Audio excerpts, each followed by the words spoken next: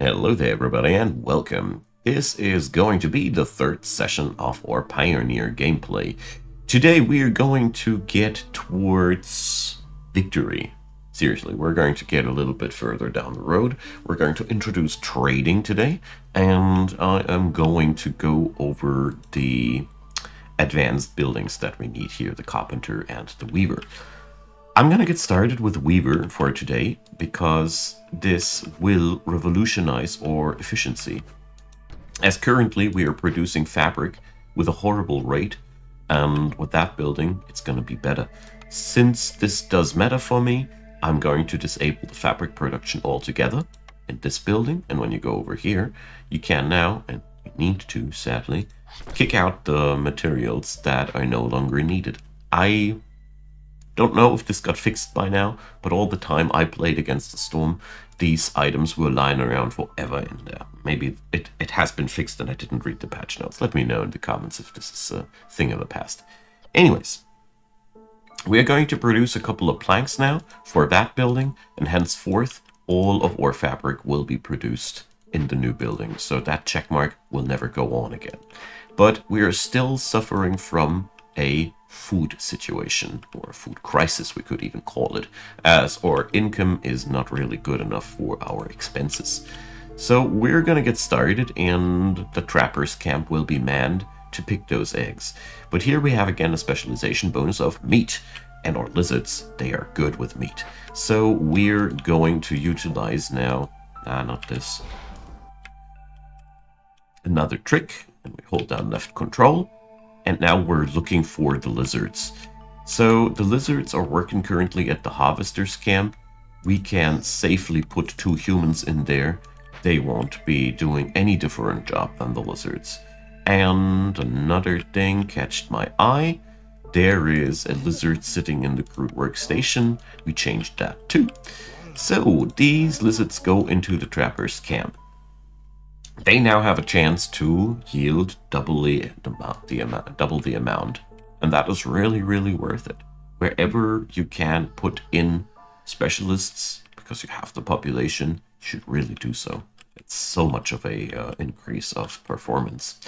And the other thing that we can do inside of the ancient hearth is a special bonus. The person that is working there is applying a bonus to your city in accordance to your uh, to the species that you put in there. One of my personal non plus ultra things to go is the lizard fire uh, firekeeper, as the lizard firekeeper increases everybody's resolve by one, and as an added bonus, it's a warmth workplace. And guess what? Lizards feel pretty happy in warm workplaces. So we did put up a lot of things here and let's continue with our gameplay, shall we? So these little optimizations are really important from time to time. We're putting up a trade post and these fields here in between. But as you see here, we already, well, ah, here we got our workers back from that point. I really wanted to say that we are already out of workers again, but now the people working on the event have joined our workforce again. So this quest here with the Beaver's Resolve we could finish that by just favoring the beavers for a while, but since it has a 60 second cooldown, we could use it. Yeah, well, whatever. We're, we're going to use that for, uh, for the time being. Because we need to have it 30 seconds online, and after that, it's gonna be finished. So, I'm just gonna be finishing that quest, and then we're good. -o. On another uh, Note, I'm going to employ a second person into the crude workstation as this building here is not only inefficient, it is also darn slow. So you really get the worst out of all worlds with the crude workstation, so don't cling on it longer than you need to. Alright, so this quest is done. We're going to uh, release the resolve thingy here, and here you see the number turns blue. If I would be favoring the lizards now, they would be even happier. So happy that they will yield us reputation for that. This is one victory mechanic that you can use in this game. And will use quite a lot. Alright, so I'm building up my road network a little bit here. I cannot fulfill a large encampment in uh, event right now. It's, uh, yes, I have the food, but no, I can't give away the food. That's the end of the story. Okay, so as a matter of fact, these two extra people would be extremely helpful right now, so we pick them up. This also brings us to the problem that usually, well, we had enough houses, you might get a homelessness problem. Also, the hostility has increased by one, because more people, more hostility. Mind you that every level of hostility is also a pressure on the global resolve, not only during the storm season, but also during the regular season. So we get a lot more hostility due to that. But the, the, the plus side is also that there is no downsides until we hit the next 100 point threshold. There's not going to be happening anything. Anyways, I'm going to open up the area here, so we have more space to work here. And as you see there, the Weaver's workshop has finally the necessary materials. We put that thing on priority now, because it's important. I also want to showcase here, fabric is being produced in 21 seconds, while being produced here in 42 seconds. So efficiency also influences the speed. So much reason not to use low efficiency things. Now, our Stonecutter's work camp can now be plucked right next to the sea marrow deposit. Sea marrow is okay, but it ain't. It, it hardly is much more than that. Alright. We got a new blueprint. Let's see what it offers. We get a selection of blueprints that is a little bit problematic, sort of. The small farm, well, we already have one agricultural building it wouldn't get us that far. Instead, I am glancing at the foragers camp. We got here notes that we cannot pick up, and we have a imminent problem with food. Normally, I really say that these uh, camps should be taken with caution, as they block you from processing buildings. But sometimes, if you just happen to have a uh, large occurrence of that stuff. It's just sometimes just the way to go. Against the Storm doesn't really follow any strict and uh, hard-written rules. This is one of the things that makes this game particularly hard, as there is no foolproof way, because the game will always give you so many different options that you have to find your way yourself. And that's what I'm trying to do with this tutorial series as good as I can. Now, we got the carpenter down at the weaver. The weaver here has a specialization bonus for tailors. We don't have any tailors. And here yet again, I'm turning these off. And at this workshop, I increase the fabric stockpile max to 40, as I feel as if this is totally okay to have a large stockpile of that, as this is the most efficient way of processing plant fiber into fabric in the game. Alright, we're also unlocking the trader's post now. That's good. We still got a couple of quests. Let's check out what new quests we could take here. Well, the need for a jerky quest, I'm not down with that. We're going to go for pottery and wine. The thing here is this quest can be fulfilled just by, uh, by a trader alone, as we just need to buy these goods at a trader and we can fulfill the quests. I personally find that an extremely easy way to get another reputation point. And also the packs of building materials that we require are also fetchable here at the makeshift post. Again, super low efficiency, I warned you, but, well, it is good enough. We find sometimes copper ore in our clay, and that's totally that's totally fine. I'm going to use copper ore and fabric for this purpose, and we're going to put the limit on 4. And fabric will be available in large amounts, and copper ore we won't be processing in the, in the meantime. Okay, my good friends, hello, this is Zhorg. When we meet him the first time, we can sell any packs of provisions, as these are only needed for a feature that we cannot even use yet, namely trade routes. We haven't unlocked them yet, so you can blast away whatever you got there. Don't you worry about that. Not gonna be missed. So here you see already that we can buy those 30 wine. Well, almost. He doesn't feature the pottery that we require, but we can also sell off all that resin theoretically. Practically, I'm going to keep 30. As an experienced player, I know that resin can sometimes be used to fulfill glade events. And that is just something we cannot give away. So, I'm going to put the herbs into the pot here as well, because clearly we are producing these th things now ourselves. Okay, down here we see the value of our goods, and here's the value of Zhorg's goods, so we have still a wee bit to go. If you own Amber, you can also buy traits at this uh, fella here, and you can also attack him to gain the goods. That costs you lives, and Queen's Impatience. And the traders won't come that uh, fast again, because they heard that good old pal Zorg didn't come back from his last trip. So Use that only if you are truly, truly desperate or you're building an elaborate scheme around it.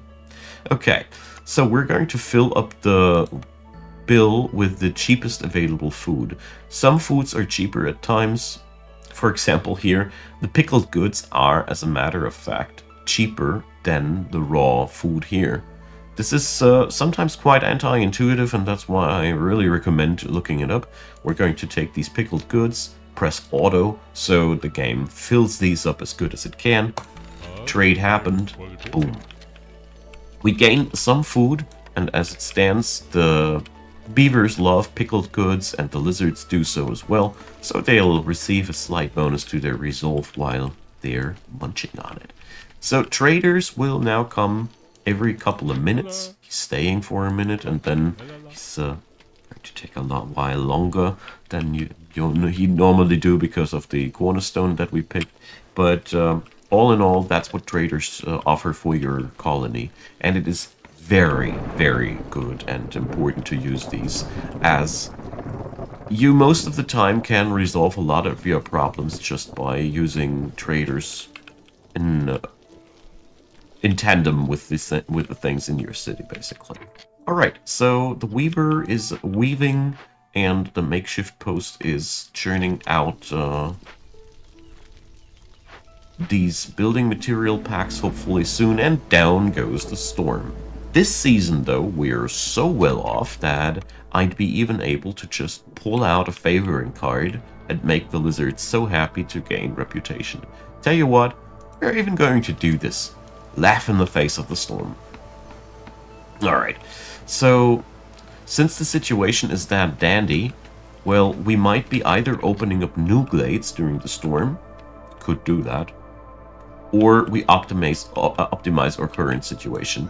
What I'm seeing here is that I really want that forager's camp manned.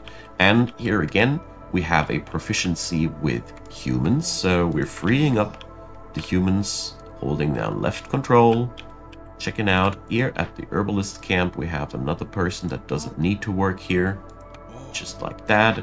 And the humans pick the foragers camp, because that kind of efficiency, I personally find it extremely important for me personally, because these are finite resources. It, with finite resources, I really want to get the most out of it, especially with a game that exerts constant pressure on you this way. Now, the harvester's camp here chunks out the plant fibers that we need. There's just the fact that I want to withdraw them and put them up to the herb garden. And here we're going to exclude the herb production and put this exclusively on root production.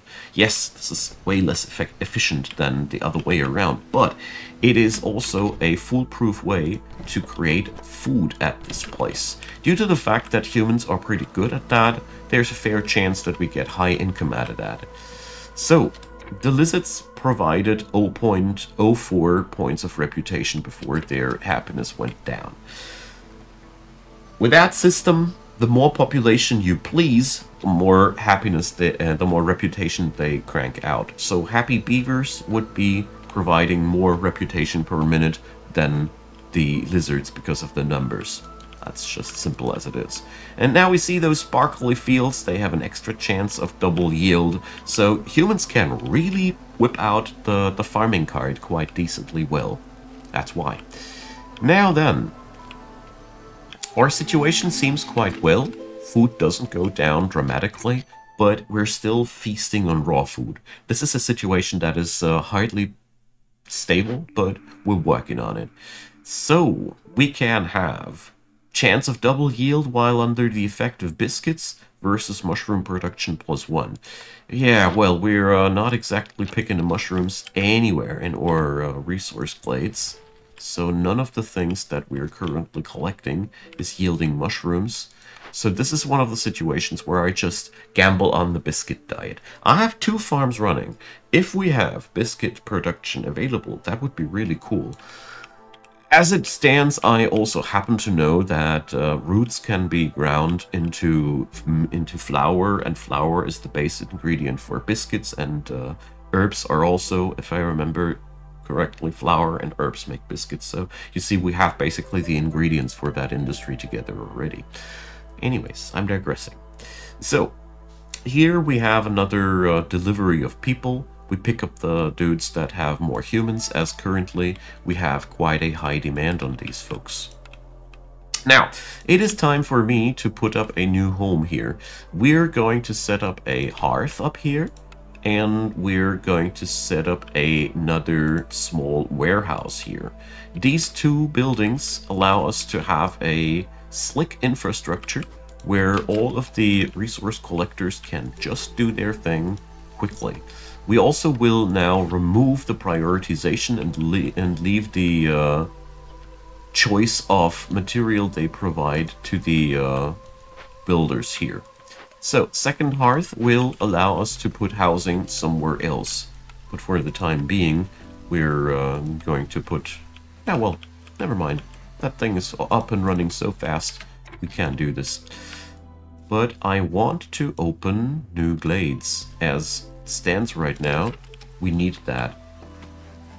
We'll also gain extra population due to the uh, trait we picked. There we go. So I'll put another lizard into the hearth because it's making them happy, as we already know. And the new shelters will now be built up here in that part of the city because we can uh, upgrade this thing exactly to the same level as this thing and we get the plus two on our resolve another time.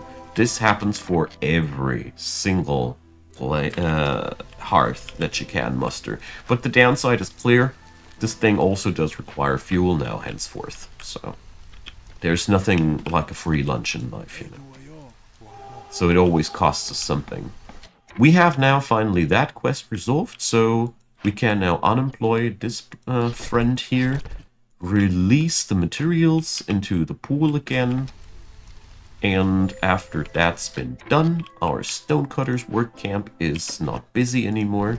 And that's the point where I just press V and raze it down. We get everything back in this game. There is no, no such thing as a loss when you uh, when you dismantle a building, and therefore, since I currently don't need Stonecutter's camp, I'll just leave it like that there's plenty of work to go around here in the city, so uh, we're we don't need to be exactly picky here. Since we're right in, uh, on the verge of opening another dangerous glade, we'll have plenty of work to do. So, the small herbalist's camp also happens to have nothing nearby. I'll keep that for now. Maybe I was a little bit too hasty with my stonecutter as well. We might need to rebuild that, but uh, for the sake of the tutorial, I meant to show you that. You can easily resolve that. Okay, new thing? Yeah, of course, clay deposit. so. I'll leave it like that. No further commentation needed. Anyways, so we have a new danger event here. And here's the first time that we need to put in rare materials. So, like I said, resin is a problem solver. I knew that in advance. And over here we can also use building materials for these tasks. Here's the difference. So here we gain hostility increase, 150 points flat while this uh, event is being worked on. That means this event will exert pressure on your resolve while it's being worked on. And uh, if we bury the entrance, we would gain a resolve penalty just for gatherers and woodcutters. But in response, we would gain a bit of the uh, crown's uh, reputation. But tell you what, we're going to perform the ritual, as currently I am employing so many gatherers that I don't want this. The minus 12 is uh, would be averaged out onto the entire populace, so it's um, not like you, you, have a minus 12 on each faction, but it still is quite a heavy uh, burden, and the rewards here are really good. The ancient tablets are high value goods. You can sell them off for extremely high amounts of money, and there's sometimes also orders that require you to uh, to pay in uh, these packs. Anyways, we're going to take that reward, and this reward is special is especially tasty as we gain a lot of building materials, and in addition, our plank production is henceforth more efficient. We gonna build ourselves now that industry that the city deserves, namely the clothier and the carpenter. Let's hope that we're going to be able to draft something useful, but nah, RNGesus is not with us today. So we got now two options. The plantation is very interesting, or I'm going to wait until I have opened more glades to choose either between the herbalists or the trappers camp. Currently we need neither of those, as we have no nodes that require them, so here again, I'm pulling the same card as I did the last couple of times. I don't know what to pick, so I'm picking nothing. This is uh, really, really a strategy that I discovered to resolve a lot of situations and a lot of questions became clear just by waiting. So, in this region of the Hearth, there's not enough people living uh, there's too many people living, we cannot upgrade it further, and here's not enough people living. So houses can be moved, but not for free. It costs you a bit of timber. But in this situation, I gladly pay the timber tax to move these people there, and we just do the same thing here again. Resolve is something you can't bank too much. It just ain't possible to bank up too much resolve, because as soon as you have enough resolve, you just start winning the game. End of the line. So here we got a very nice objective that we can instantaneously fulfill. I'll just take that. The rewards are amazing. I, I wouldn't have even needed to buy the wine, but the more you know. So here we got now the necessity of a tavern and ale, or have at least 10 humans and fulfill the need of clothing. I have a building that can fulfill that can, that can build clothing, so this one is a no-brainer as well. That's a really good no-brainer as it really showcases what I'm talking about the whole time. If you just wait long enough, everything will become much clearer. And just without spending too much of a thought, we're down to that one mandatory worker that I keep for building things. Against the Storm is really good at consuming tremendous amounts of workers until it's suddenly not anymore. That's one weird thing, but at some point in the game you will run out of parts to build new buildings and you will run out of um, materials to process and at some point extra population will turn from a blessing into a burden because you will not have enough work to be done for all the people at some point. I never had cities that were able to employ the late game flood of newcomers. I don't know, maybe I'm just too stupid in some point, and uh, let me know if you know what I'm doing wrong, but I haven't found it out until ever. Now, at the carpenter's workshop, we can now exclude the plank making as well. So that brings me to the point that I'm also unemploying one of these guys here. They're just not needed anymore. At the Carpenter's Workshop, here again, beavers get the extra output chance, which is super good for um, refining industries in general. And here we can produce tools. If I remember correctly, yeah, we'll gain a, uh, a few bars of crystallized dew. So we're going to make tools only out of planks and with these metal uh, types. Currently, Due to the unlocks that we still have to do, we're not really good at producing metal by ourselves. But if you find any metal and you have a building that can crank out tools, by all means, go for it. Tools are amazing. As with tools, we can just open up caches and uh, get profit. That's just how simple it is. Alright, let's see. The herbalist camp still doesn't have anything new, so we press V, so we delete it. The Trappers Camp ran out of business too, but here's a lot of meat, so we're going to go for it. Here I'm going to go immediately as well for a small warehouse. I'm going to position it here, as this is the center point between these nodes, and later down the road, also for the fertile soil. So here I'm going to set the herb garden down first. I'm placing it down here on the fertile soil on purpose because there's one thing I hate to uh, tell you, but one farm cannot harvest an entire patch of fertile soil. The two farmers working on one farm without any work speed boosts will be able to plow the entire field, put fertilizer on it, sow the, uh, sow the entire field, but not harvest the entire field. We would basically need a second farm to put workers on during the clearance season to get the entire job done. What I'm trying to get down to is it's not really terrible if you if you build on a few patches of fertile soil if it is efficient in some way here. You see it? Here we're only getting that far because we have that 33% uh, global production speed bonus. Without it, these fields would be not as plucked clean as they are. So we have our first storm with hostility level 1. Not a biggie. We're stomaching, stomaching it quite well. Let's move the woodcutter camps away. The first thing that you always can do if the storm gets too hot for you, you can move away woodcutters. As woodcutters are your main source of hostility or not the main uh, source, but one of the sources that can be easily cancelled out. Let's put it down like that, I should rather. So, we got here a lot of uh, herb gardens running, and I do this on purpose as I feel like it will be a pretty nice idea to have tons of things to trade with once the next trader hits town. Alright, so that warehouse will now help everybody here to transport their goods here. And my by Rainpunk magic, these goods will also be available in the main warehouse. Why? I just don't know. It is what it is. Take it and like it. I do. Yours sincerely. Well, well, so we're going to go and cut our glade way open here as there's a really nice convergence of two danger glades at once and we just need to fulfill our tasks. As you see here, we have a bit of population left over.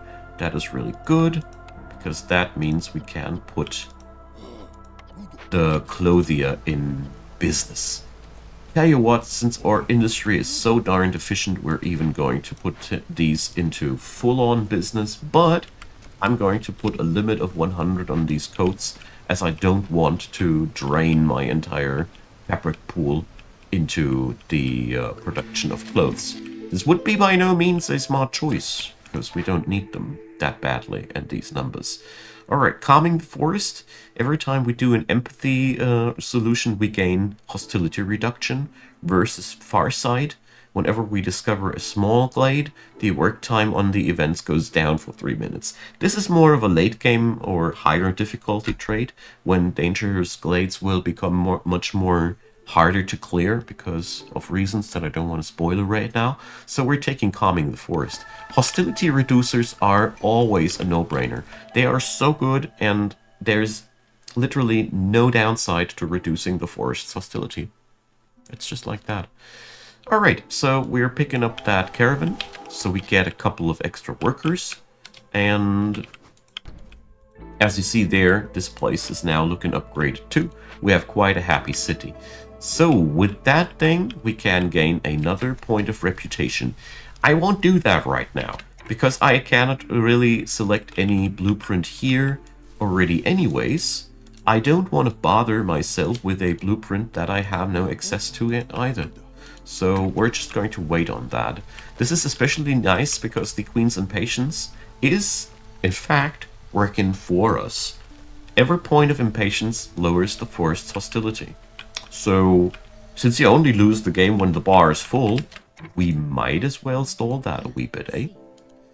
So, what's left to do is expand our road network, which just doesn't uh, happen too well because I did move away all the woodcutters. Oh well. Here we go. That one camp is getting the job done quite nicely too. I'm very, very sure about that. And just like that, we have our first uh, industries that will crank out reputation like crazy. We got industry that produces tools. That means we can produce, we can open up caches as we want to, at least as long as we have a metal intake. That is, we have a clothing production, which means that the clothing, as soon as the beavers and I think the humans will put it on, will make these fellas also very, very happy. And yeah, this is uh, this is exactly the kind of things that you need to pull through the game. So we got this already resolved. This is uh, pretty much resolved. This is resolved. Here we just need to wait until we either get an event for pottery or well, maybe Sahilda will bring some. Maybe we even find a cache that we can't smash open. Say, is there pottery? Nah, there's just wine, but there wasn't enough wine, so damn, they're really, they're really dunking me in the, into that wine. Anyway, so here we find our first ruins. Hell yeah. we also have found our first root um, deposit, and I gotta say that forager's camp pays off right from the get-go. So here we get another dangerous event, of course, the Rainspur Totem. So as it stands here, we can either take it as a hostility decreasing decoration or we just burn it down. In that situation, I personally vouch for the hostility reducing decoration as the resin available for that just comes from the trees. We don't need to work hard for that at all. So, totally taking that. Now, as our food situation currently is quite stable, I'm gonna be sending these guys all to the Citadel. Simply because I really don't want that many more workers to feed. This is, in my personal opinion, a uh, very nasty noob trap to to provoke you to, to gather way too much uh, population in a too short amount of time. We are still in a food crisis situation. This is not good. We are just scraping by. We're uh, mostly uh, coming along so nicely because we got that insane amount of agriculture running for us. So down here we got the bakery. We can either salvage it for a bit of pie ugh, and a bit of clay, or we build it, rebuild it up for ourselves. I say we rebuild it up as we can gain the pottery that we require, and it also brings us to the point where I just will require a industry that can mill me flour. We got the roots, we got all we need. We can then get that bakery going, and that is good news. All right. So you really feel, by the way, the uh, lowered amount of uh, trader occurrence due to the deserted caravans. So that is uh, really putting up some pressure on our shoulders. But whatever. I just came up with an idea that I personally like here. So instead of uh, now stalling any further, I mean, the trapper's camp surely looks nice and all. We're going to pick up that plantation. We found, so far, on every single dangerous glade, another fertile soil spot. We can now safely say that this place is really well fit for that task. So what we're going to do is we're going to make the city more or less a um, agricultural city. And Maybe I'll be even ripping out one of these herb gardens and transform it into another plantation. We'll see about that. The advantage of the plantation is that it produces food for us on a much better ratio. And that is why I think it is worth it. Sometimes you just have to take a suboptimal solution for your problem. But if it is a suboptimal solution but still a solution, I think it is worth going for it as you are playing on time here. Alright, so I'll be ending this episode here. we will be most likely able to win in the next episode, or at least I hope so. And I hope you enjoyed it. I mean, I, I do my best to showcase how to win games here without us breaking too much of a sweat. And uh, comments go down below. Thumbs up would be appreciated. Consider subscribing. And of course, check out the description box. Lots of links to go around. There's Discord, there's Twitch, streaming every Sunday evening in the Middle European time zone. And of course, check out Patreon, Pay PayPal, or Buy Me a Coffee with a big, big thanks to all the supporters. And a big, big thanks especially to you watching this darned long episode up until the very end. I hope you enjoyed. See you there. Bye bye.